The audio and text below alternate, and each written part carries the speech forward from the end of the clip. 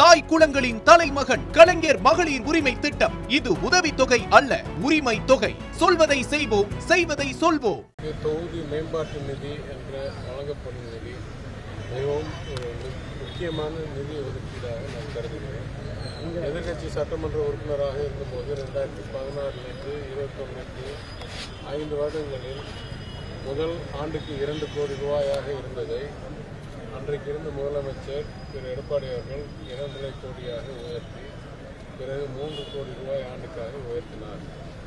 அந்த நிதியிலிருந்து ஐந்து ஆண்டுகளில் நூற்றி ஐம்பது பணிகளை மேற்கொண்டு முழுமையாக நிறைவேற்றி கொடுத்தேன் அன்றைக்கு இருக்கிற எதிர்கட்சி சட்டமன்ற உறுப்பினராக எங்கள் ஆட்சி வந்த பிறகு ரெண்டாயிரத்தி இருபத்தொன்று இருபத்தி ரெண்டில் முப்பத்தி ஓரு பணிகளும் இருபத்தி ரெண்டு இருபத்தி மூணில் இருபத்தாறு பணிகளுக்கும் ஒப்புதல் வாங்கி பணிகள் பல்வேறு ஸ்டேஜில் இருக்காங்க இருக்கிறது.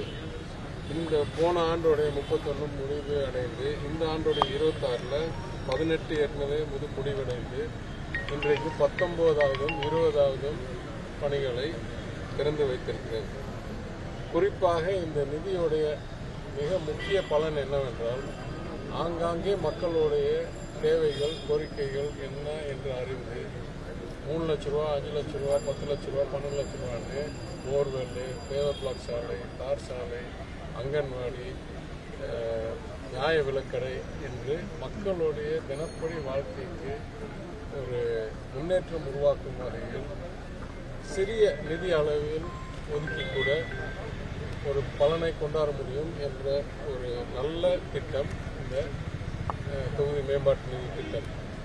என்னை பொறுத்த வரைக்கும் அங்கன்வாடிகளுக்கு மிகவும் முக்கியத்துவம் கொடுத்து என்ன இளைஞர்கள் தான் நாட்டோடைய எதிர்காலம்.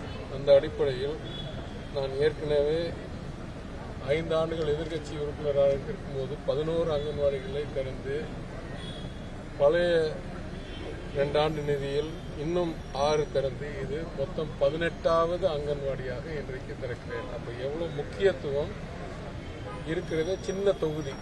இருக்கிறது பதினாறு வார்டு. பதினாறு வார்டில் ஏற்கனவே பதினெட்டு அங்கன்வாடி திறந்திருக்கிறேன். ஏன்னா இளைஞர் நலன் மேலே அந்த அளவுக்கு அக்கறை கொண்டவன்.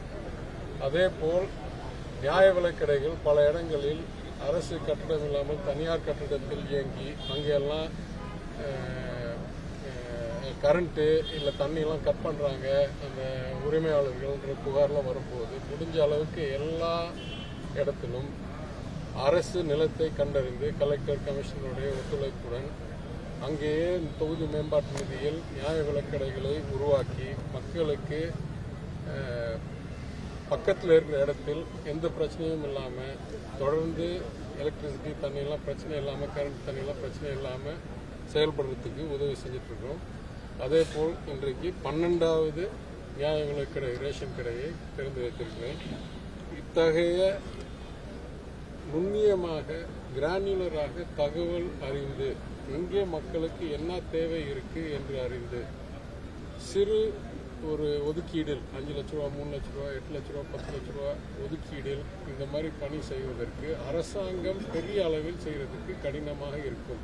அதற்காகவே இருநூத்தி முப்பத்தி நாலு சட்டமன்ற உறுப்பினர்களுக்கும் அவங்க அவங்க நிதி என்று ஒதுக்கப்பட்டு அதில் இந்த அளவுக்கு கவனம் செலுத்தி பிரித்தால் இது சிறப்பான விளைவு கிடைக்கும்.